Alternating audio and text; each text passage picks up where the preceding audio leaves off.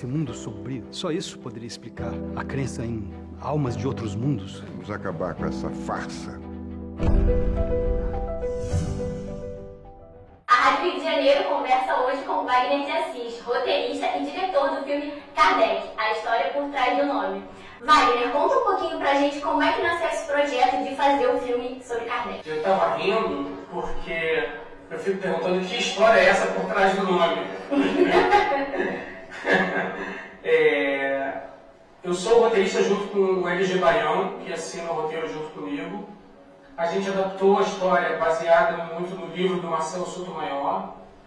E é um livro que tem uma abordagem tanto quanto jornalística sobre a vida do Kardec.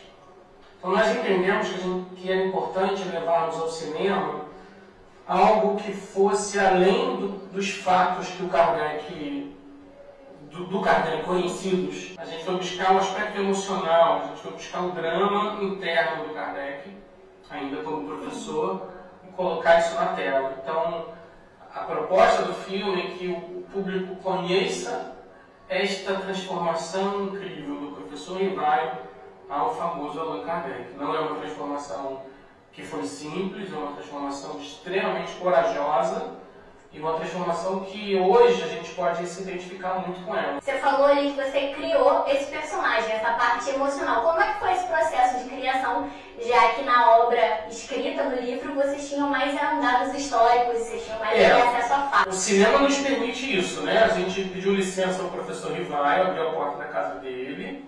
Então quem conhece o Kardec acha que conhece. Eu sempre brinco, falo, olha, quem conhece o Kardec não conhece, nunca ouviu de pijama, por exemplo. Nunca ouviu descabelado, com barba por fazer, e nunca ouviu cansado, sujo de tinta, trabalhando loucamente madrugada adentro, nunca viu. Então a gente abre a porta da casa dele, simbolicamente, e adentra um mundo que tinha não só um homem incrível, mas uma mulher impressionante também. E a gente traz isso para dentro do filme. Vamos olhar a vida desses dois, vamos olhar tudo pelo que eles passaram, para que isso sirva dramaticamente para a história. E aí nasce o professor. Na obra você fala de Kardec, mas a esposa dele, a Amélie Gabriele, ela foi uma mulher profundamente dedicada. E nos dias de hoje, que a gente vive um movimento de luta pelos direitos das mulheres, eu queria que você falasse um pouco sobre a construção dessa personagem e que ainda não é tão devidamente conhecida quanto ela merecia. Então acho que você já deu a minha resposta. a gente agora está prestando esse tributo é, oficial à Amelie. Né? A gente está claramente relembrando as pessoas que ela, essa mulher não era a mulher atrás do grande homem, mas que era uma mulher ao lado e muitas vezes à frente deste homem.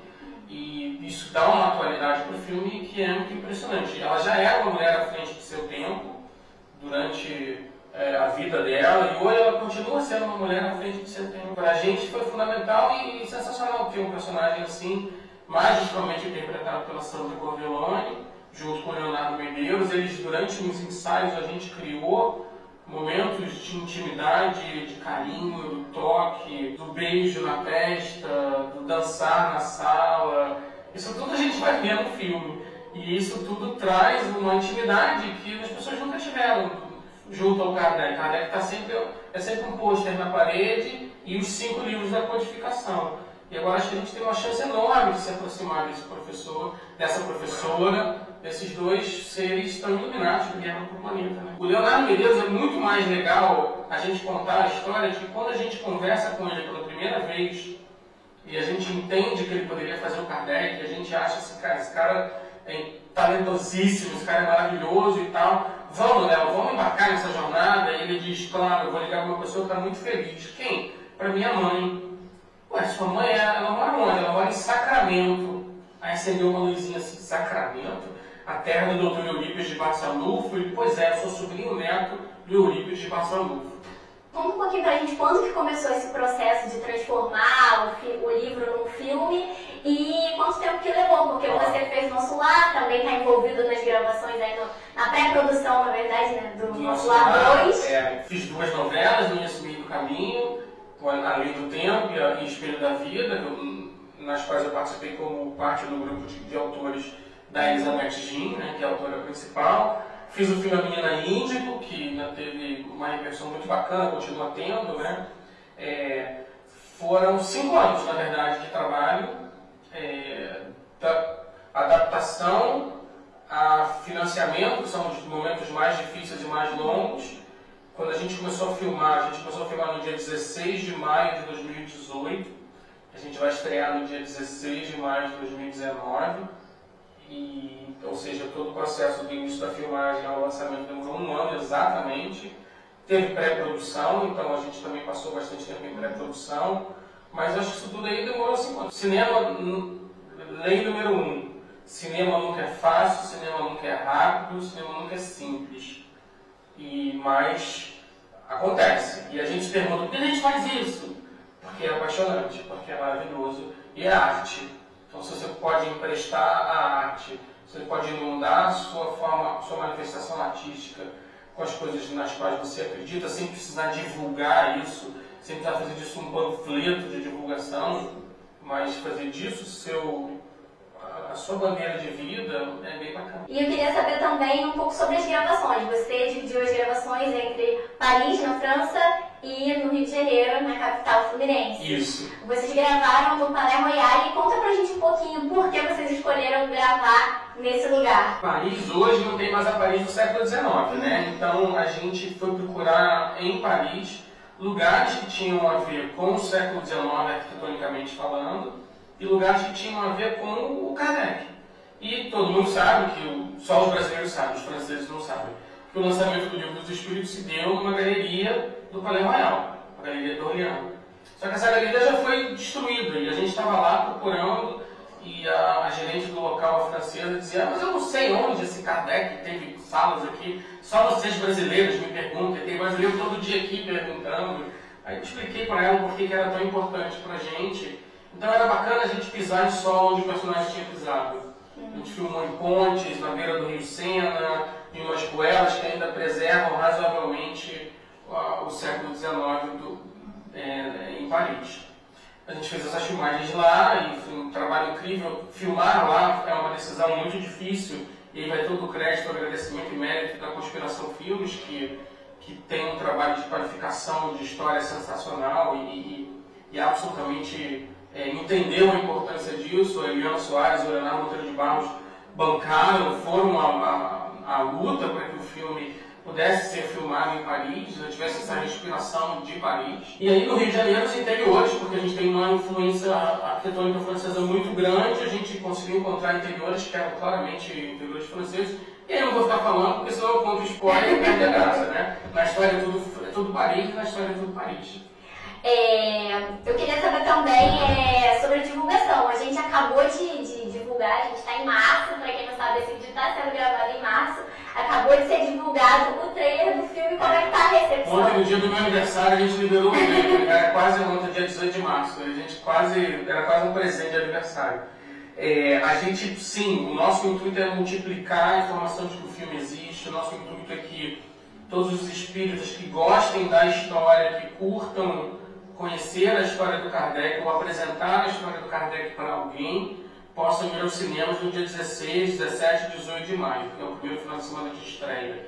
Esse final de semana é fundamental porque o mercado de cinema depende disso e a gente gostaria que as pessoas se mobilizassem e não deixassem para depois.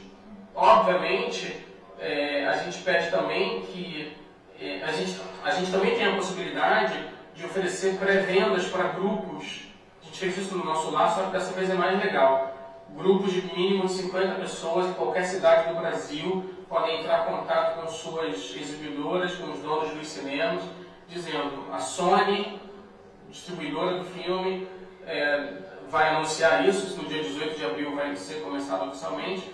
A Sony possibilitou a gente comprar é, sessões particulares do Kardec, junta seu grupo de pelo menos 50 pessoas e aí os cinemas eles estão fazendo esse acordo com a, distribuidora para que isso possa ser viabilizado a partir do dia 16 de maio. Então você pode fazer um grande evento no cinema, é, juntar todo o centro, juntar todo mundo e ir, ir ao cinema e depois sair, conversar sobre Kardec, ver o que a gente mexeu na adaptação, ver quais são as coisas que a gente optou, porque a adaptação tem, tem algumas licenças dramáticas senão a vida comum não consegue dar um filme, né? Mesmo e aí, enfim, fazer disso um grande movimento de, de, de Kardec vive dessa forma, né?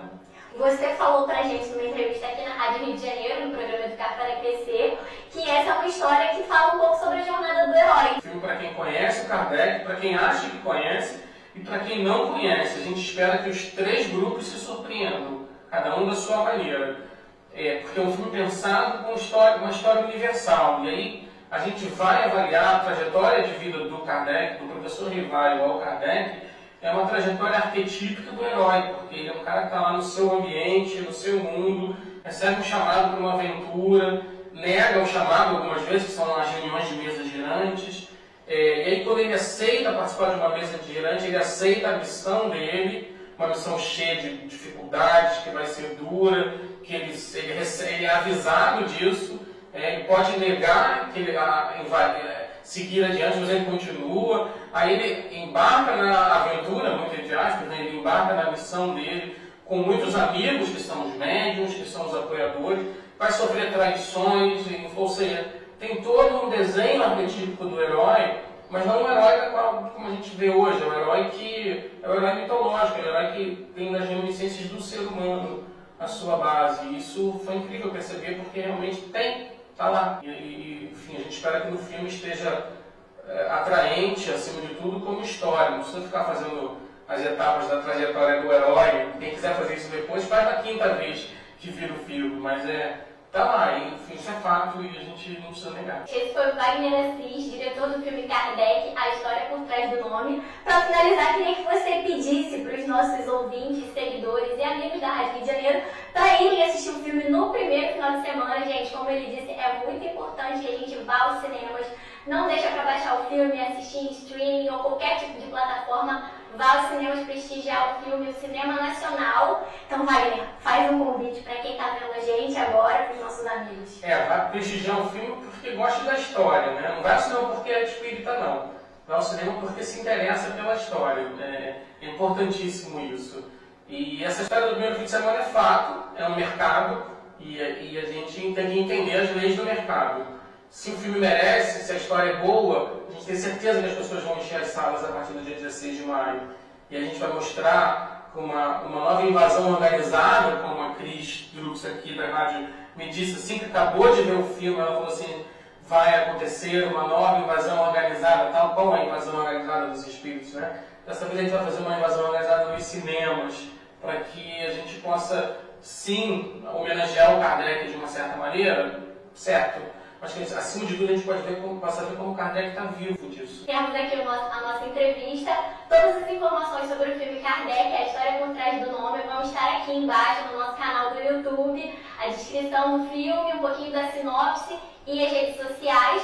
Se você gostou do vídeo, não se esquece de curtir e compartilhar e, claro, de se inscrever no canal. Até a próxima! Dá um like!